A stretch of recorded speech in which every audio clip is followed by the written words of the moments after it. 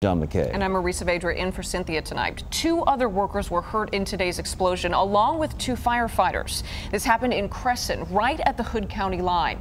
News 8's Lauren Zakalik is live there for us tonight. And Lauren, we're hearing from that missing worker's family.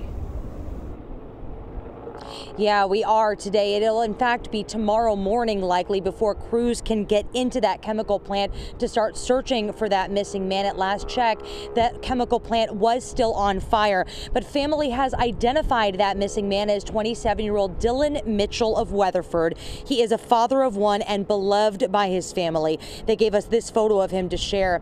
His family has been waiting here at the fire station in Cresson for any word or developments. We're told there were 12 people inside inside the chemical plant when it exploded. Two were sent to the hospital, one with bad burns on the upper half of his body. But Dylan has not been accounted for. We spoke to a close family friend today who is trying to cope with all the unknowns right now.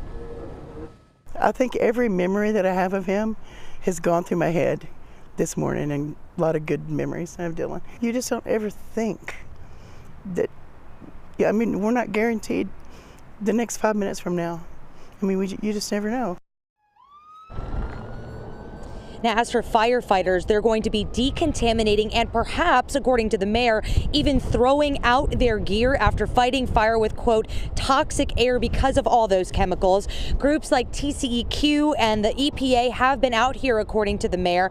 But the mayor insists that there are no concerns right now to the public because of how remotely located that chemical plant is and the direction the wind took this. Reporting live in Cresson, Lauren Zakalik, Channel 8 News. Thank you, Lauren.